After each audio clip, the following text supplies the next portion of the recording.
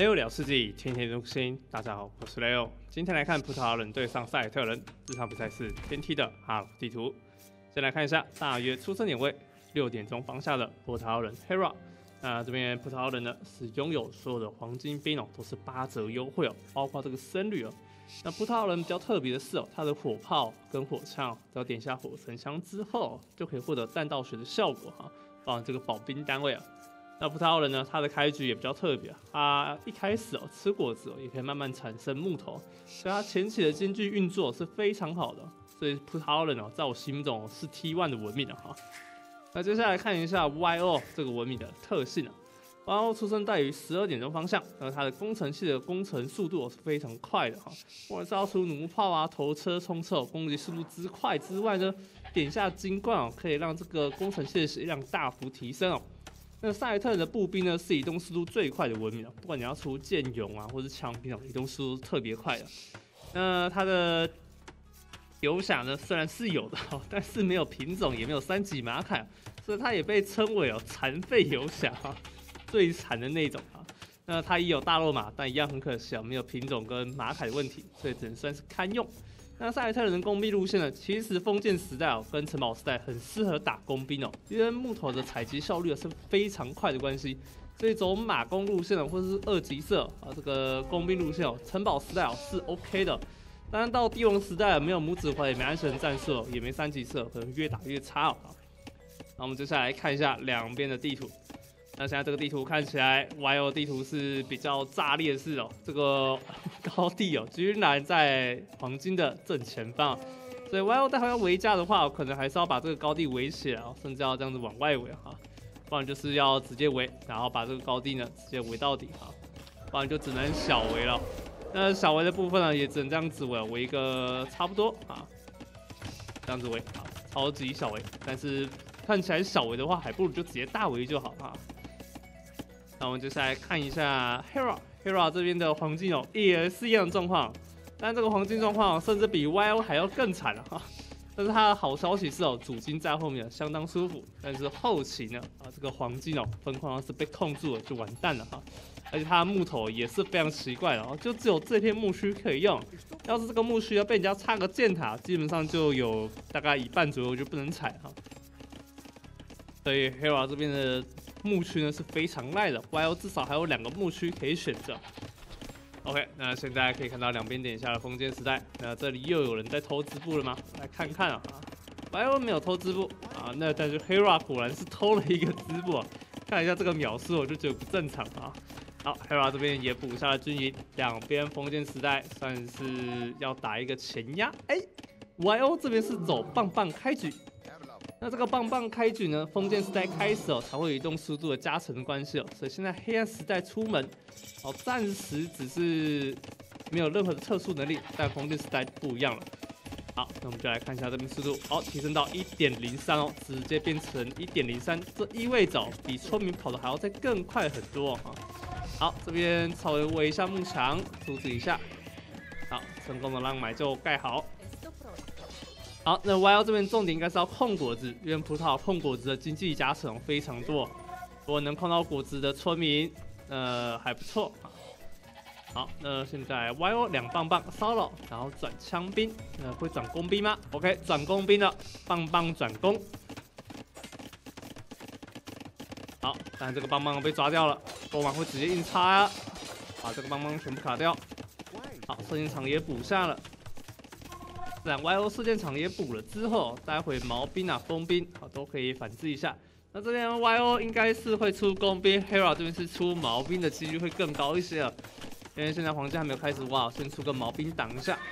那待会就可以考虑双射箭场量产工兵哦，就会非常便宜啊。封建时代开始哦，就可以获得这个黄金八折的优惠啊。所以单纯打工兵来看哦，YO 这边可能会有点劣势哦。对，待会转毛兵的话，可能会对自己的经济优势搭配会更好一点哈。好，那如果要想要快速升上去的话，毛兵也不是按太多，所以现在 YO 还在思考到底要怎么转兵啊，还是要先去侦查一下，也是个问题。现在工兵开的问题哦，只要落马送掉之后，就是完全是未知的世界啊，对方在干嘛都不知道啊，所以现在最好是补个箭塔。哇，果然这个金真是太难受了，我要补了个箭塔防守。好，那前期有盖这个箭塔，金矿应该是能稍微守住的。那这个箭塔能够盖好吗？好像有点盖到头破血流，赶快拉更多兄弟来盖。OK，箭塔盖好，毛兵出来可以控制这边的工兵，不要让这这些工兵在箭塔上面继续控制黄金了哈。好，那现在落马，现在三只继续绕，这边要上了，但是有一只枪兵，枪兵被射倒，我们就有危险，这一波要看一下喽。哎呦，直接上来先打工兵，但是黄金虽然没被控，但是果子却被控了。那这里村民没有第一时间拉回家，残血的村民也被拉到了，然后去种了农田。好，Y O 这里又被抓掉了一只村民啊。有点难受，现在枪兵戳到了一下肉马，然后这个肉马有一只残血的，但是 Y O 好像搞定了。啊，这一波全部收掉，枪兵立了大功，戳掉了三只嘛啊，好，Hero 这一波还是有做到事情，那现在转出了轮轴技术，OK，果然转下了双射箭场。啊，呃，双射箭场现在又有折扣优势，这样就不会消耗太多的肉，待会升时代也会非常迅速。第二波来了，那这边 Y O 就要赶快按按这个毛兵了，因为对方是双射箭场。好，这里抓掉这个残血的工兵，不错。好，但是毛兵还在努力的，直接反击工兵回去。好，又抓掉了一只工兵。好，聪明的血量掉的有点快，这里补了一个四级，准备要来买卖。这一把地图对于 Y O 来说相当不利，Hero 这边相当舒服，果子可以吃干净。家里也围的差不多，双射箭场给压力。好，过来了，过来了。等一下，城堡时代了，十九分点，城堡时代啊！啊，现在 Meta 真是越打越快哈。这里 YO 也通过买卖，买了一百食物，跟卖了一百木头，直接换取资源，点到了城堡时代。那现在城堡时代点下，待会两边哦可能会直接 YO 转战矛配上骑士。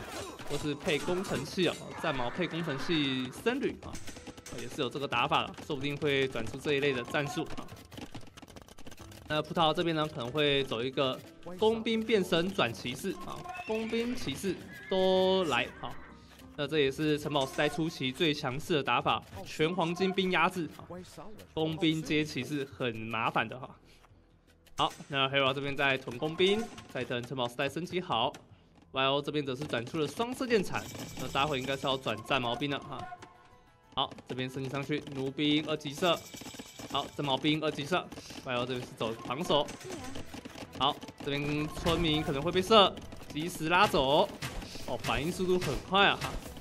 OK，那木须只差上面这里可以挖，先跑到右边。那个梦想准备要被射破一个洞。OK，骑士来了。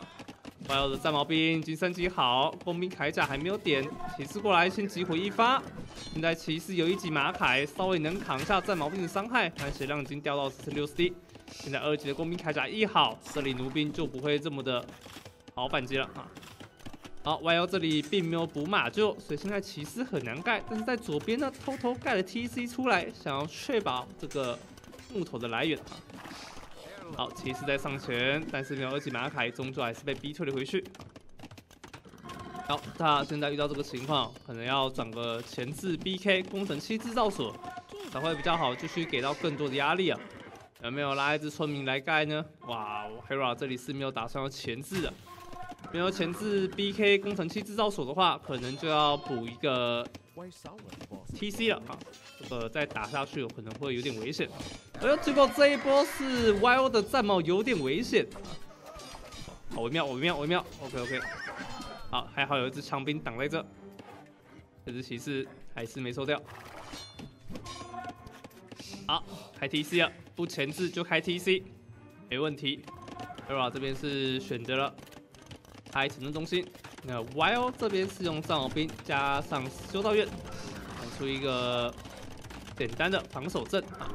呃，这边的洞还是要再补一下，还有也补下了二级色，啊，二级的攻这个伐木技术啊，伐木技术补下之后，速度啊，就会看到这个资源量采集就会非常快啊。伐木速度会很快，游戏里面最快的伐木速度文明赛特人。好，右边稍微稍微围一下，但是不是围十墙。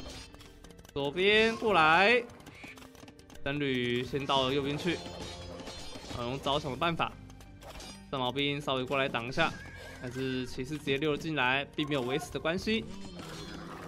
哇，结果右边直接被打出了一个大洞，僧侣应招遭到了一只骑士，完蛋了完蛋了，哇哦这边防守出现漏洞，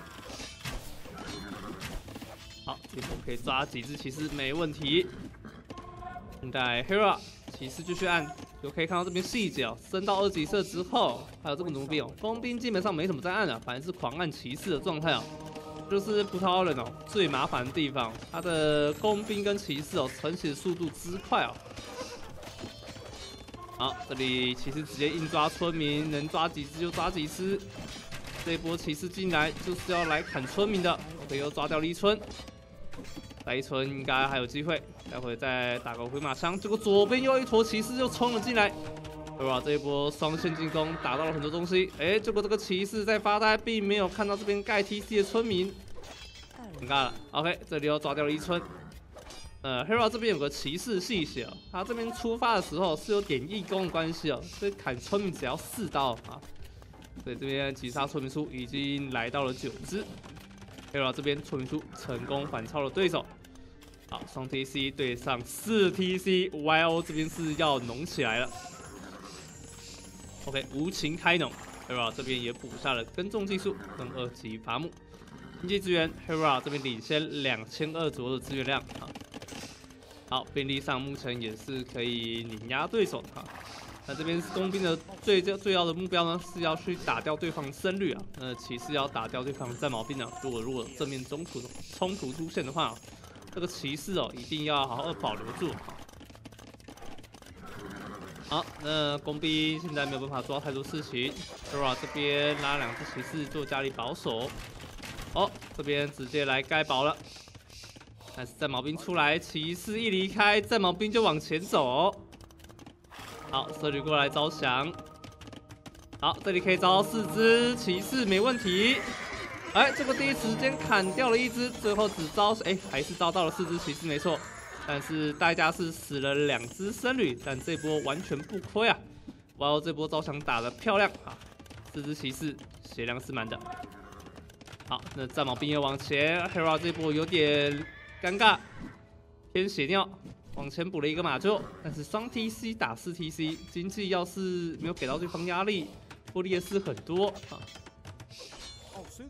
好，工兵开始往前，数量开始慢慢补了，补到十五只。好，骑士继续追，大毛兵一直被后面的骑士追杀当中。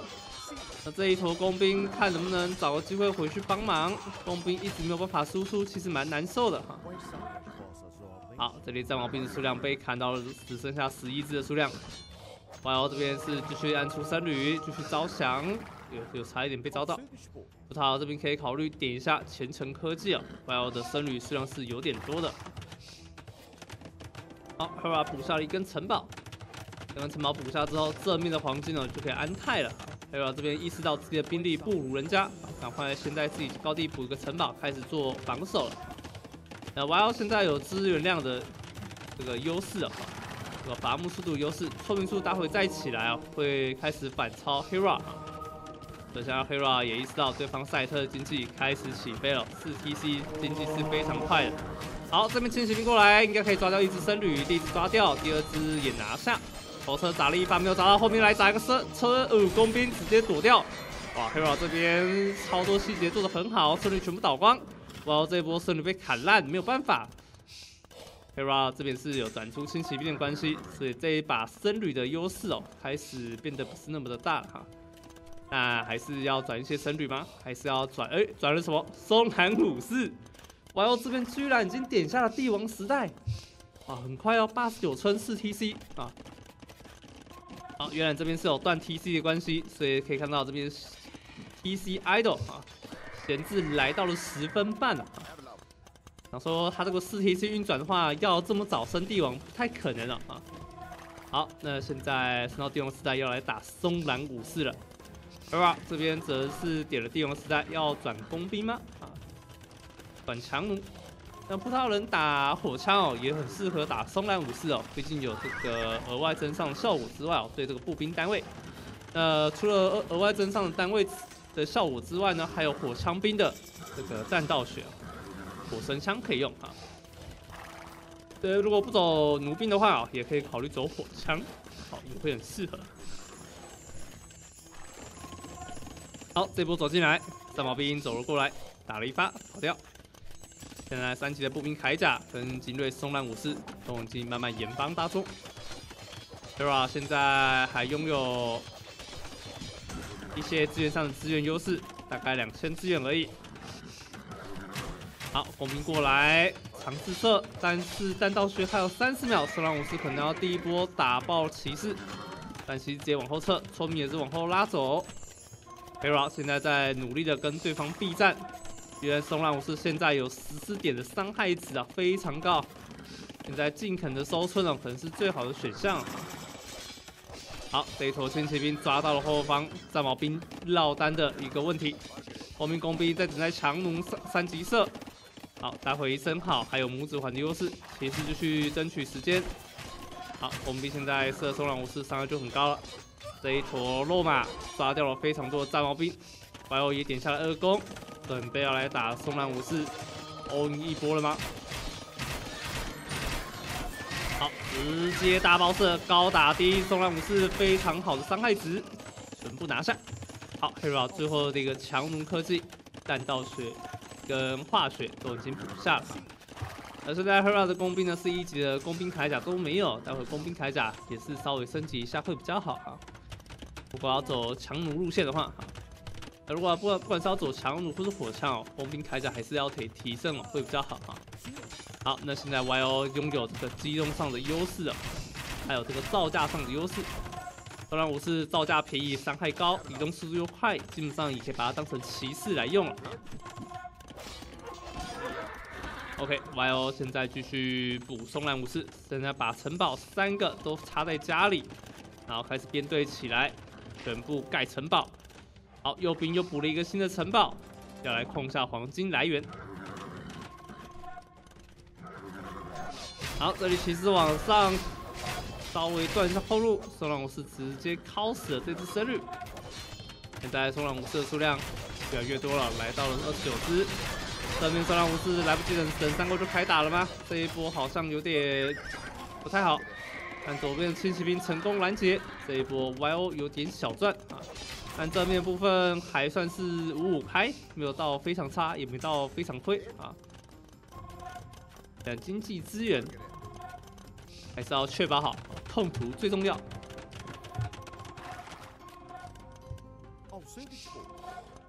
好我要点下了堡垒科技，待会大型箭塔的攻击速度啊。这个箭塔或城堡的攻击速度应该是城堡而已啊，城堡跟箭塔都会比较快一点。呃，这个文明哦，虽然有大型箭塔，但由于没有三级射，所以通常点堡垒技术是只是增单纯增加城堡的攻击速度，还让城堡可以让步兵哦自动回血的效果哈，反补的能力啊。呃，打松烂武士确实点个堡垒啊，还算是一个不错的选项。好，Hero 这边三级马凯在后面一直努力了，这一波冲了进来了，哇，开始抓村民，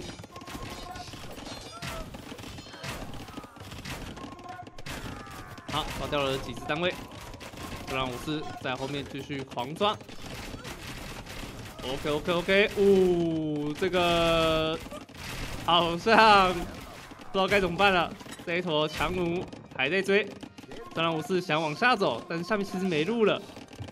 啊，没有关系，那个只是诱饵这边的战场好像在这，右边已经开始在进攻了。好，果然 YO 跟 Hera 两边的城堡在互相对峙，但是 YO 的攻前期攻击速度很快哦。这里城堡，哇，松兰武士好像要倒光了。呃，之前有观众说啊，这个其实啊攻击速度并没有增加。所以巨头是攻击速度是一样的，可以看到攻击点是十哦，跟零点八八。那我们看一下松烂武士哦，它其实攻击的隔间隔秒数哦也是有的哈。可以看到这边是十，还是有点差别的啊。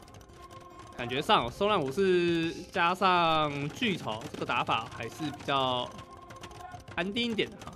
之前有观众说哦这个大冲车配松浪武士哦是比较猛啊，我也觉得这个比较猛，哈哈。毕竟冲车呢是可以增加松浪武士的生存能力的。在攻城的时候，OK，哇，这边剑士真的射的很快哦。好，那目前赛特人把巨头拉走了，动画技术也补下。呃，印象中哦，赛特人的巨头攻击速度是不会增加的，它增加的攻击速度应该是只有弩炮、重头跟冲刺哦。巨头的部分，我印象中是没有获得啊。那我们来看一下，待会来比较一下，到底有没有这个增加攻击速度。好，这边巨头攻击速度可以看一下是十，然后零点八八啊。好，这边也准备要加起来了。那目前可以看到攻击力也是十，好，现在三十九。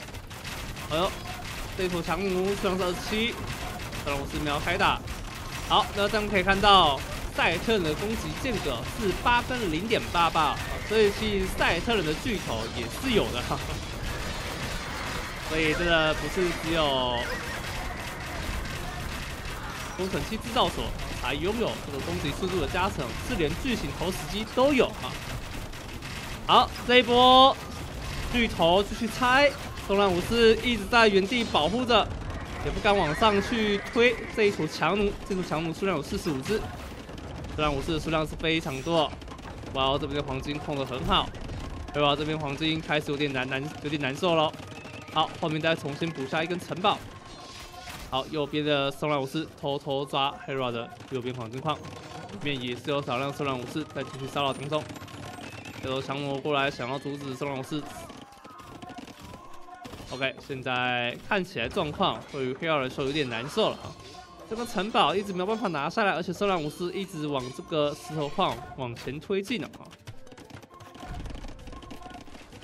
好，现在巨型头司机重新架起来，收兰武士又再次贴到了巨型头司机面前，贴完就直接走人，最后人走掉一只。呃，黑曜也不甘示弱，也是准备了一堆肉马跟后方的城堡阵。直接把这些落马打到残血，但看到后面有巨头，赶快回头抓一下，抓到第一台巨头，第二台也有机会。哇，这一坨又窜了四百斤。那后面这里有非常多双狼武士想往后冲，强弩终于要过来。好，这一坨应该有机会包掉啊，包夹掉了。所以村民要不要再围一下呢？好，看来是不围了，直接射光应该没问题。但是后面好像会被突破。房子能盖得起吗？没有办法，最后双龙士还是成功打破了这后方的防线。啊，Hera 现在有点浑身乏术啊！现在正前方、右边到处都有松浪武士，啊，后方有松浪武士也是很麻烦的。啊，但这些落马溜得很漂亮，把这些松浪武士溜到没有办法正常输出。中间部分又再次有大量的松浪武士冲了过来 Hero 现在继续喘出落马。想要稍微挡一下，那现在落马只能争取时间，或者是骚扰对手。但 YO 这边的东浪武士的防御阵型哦，打得很好，三根城堡直接守住了上方正面，右边有根城堡，整体的防守我觉得没什么太大问题。就算要支援家里农田，东浪武士也可以很快啊。好，东浪武士最后在后方骚扰到了一些村民，Hero 村民数只剩下九十四村，呃，YO 村民数则是一百二十五寸。好，巨型投石机再次架了起来，应该可以拿下一台。好，第二台也拿下了。现在 YO 松朗武士加巨头的攻击方式，还是可以给到很多的压力。好，战术单纯却有效，这就是松浪武士疯狂按的一个套路。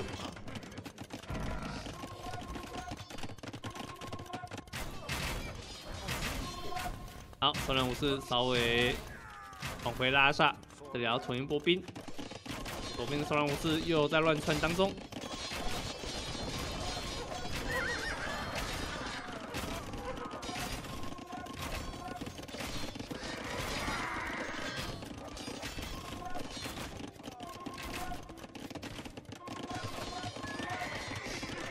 后方三个房子，啊，这里围好，看起来 YO 的防守，好吧，Hero 的防守做的还是不错的哈。YO 这波猛攻，一般人早早就已经扛不住了啊。然后左右两边都有收浪武士，真的好麻烦。但是 Hero 到处都有部署工兵呢，其实防守效果还算不错。好，右边这一坨强弩有点危险，但是它放的位置是放在黄金矿跟采矿地的中间。对，但是这头强应该是能解掉这一波的骚扰，但是又有更多收浪武士从这边冲了过来。这个黄金看来是铁了心要拿下。哇，后方强弩再过来，这边又有更多收浪武士。哇哟，这一波是怎样？松狼武士狂暴，疯狗流，出松浪武士就对了，出到底，没有要转兵。那现在要转兵的话，要转也是转头车哦，或者是要转这个冲车，不然就是要转弩炮啊，就算少一下强弩，不然战矛兵哦也可以稍微考虑一下。那如果出战矛兵的话，是完全打不赢 Hera 的轻骑兵的。对，现在不转战矛，反而是继续用，然后大量黄金出收浪武士，但 Hera 的防守好像做的很好啊，没什么损失的感觉。这这这些强弩机射倒了一百六十七只的松浪武士，这个真的是有点猛啊啊！对吧？怎么会是世界冠军啊啊！居然守成这样子。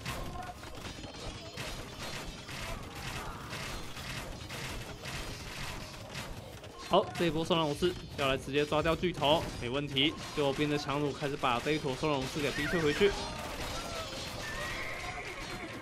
在 YO 的黄金好像有点吃紧。刚刚出了太多松浪武士了，好，右边的黄金赶快挖。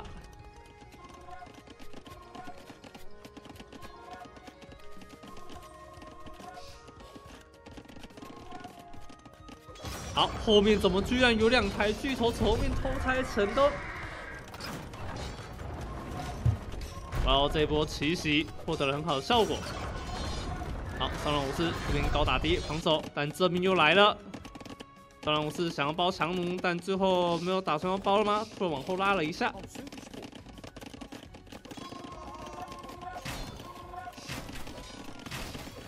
好，那 Hero 在后面的轻骑兵呢，也有少量的收浪武士在做防守。现在看起来，Hero 防守暂时没有问题，但进攻方面如何呢？哦，结果左边的强弩阵终于被 YO 给抓掉，YO 现在可以用大量的收浪武士从左边进攻了。右边的强弩要赶快过来回救！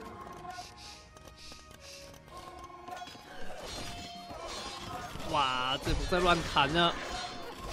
小狼武士伤害真的好痛啊！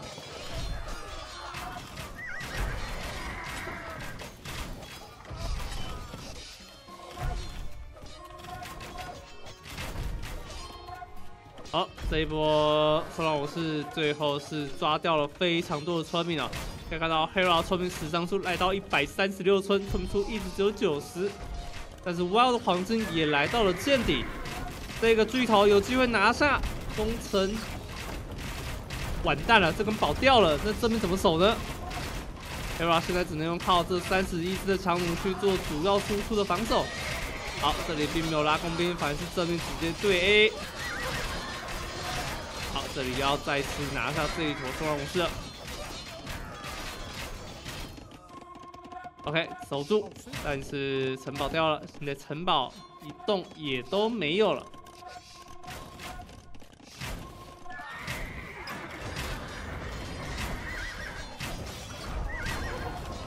好，双龙师再次过来，但是好像数量不太够喽，数量只有十二只，但黄金骑士也有四百多，对吧？这边的黄金呢还有六百一十多。这么多的松兰武士居然都被黑 e 给挡下来了吗？哇，这一坨还也有杀了一百多次单位的战机呢啊！好，左边有只松兰武士拉了一些强弩过去做处理。对吧？现在要攻城非常困难，只能转一些兵力先守住家里。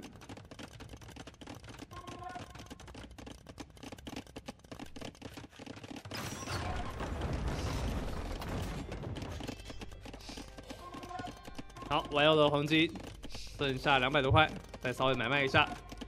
现在两边都有点陷入焦灼的感觉。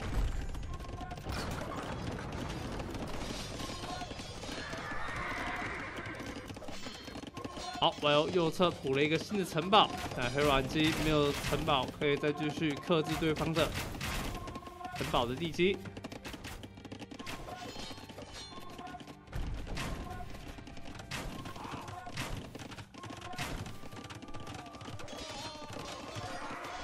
好，松兰武士这一波，轻摇一上，打了就跑，但是右边又一坨松兰武士。哇，这个真的是收浪武士 A 到底，但是 Hero 这边打出了 GG，我们恭喜 YO 拿下比赛这里。哇，最后 YO 出了四百一十二只的松兰武士啊，这个量是有点猛啊，也可以说是哦，YO 只靠了一个关键单位哦 A 就完事啊。呃，赛特人哦，这个收浪武士哦，确实哦是有这个强度在的，移动速度快，造价又平，伤害又高。虽然防御没有到非常高，但至少也有正常的五点远防哈。整体来说，赛特人后期如果不打游侠的话，打这个松浪武士哦，绝对还是首选哦。好，好，我们来看一下经济的部分。那经济的部分，我们来看一下资源量，YO 是赢了非常多，石头花只输了一百。Hero 这边也是蛮厉害的了，只用了一百四十四只的工兵哦，还可以活到后面还有四十二只的强弩。那其实，在后面再打下去的话，其实我觉得 Hera 也可能不会输哦。但是后面这一坨东浪武士哦，已经有点防不胜防哈。所以如果就算继续打下去的话，可能也是进入后期的焦灼战。后期大罗马再出来哦，Hera 可能也是没那么好打啊。但要打是可以哦毕竟葡萄牙人哦有这个港湾大商战。但是黑 ra 中间没有转港湾大商战就意味着他没有打算要打后期了。好啦那么今天影片就差不多到这了那如果想这部影片请不要说订阅我们下次再见喽各位拜拜。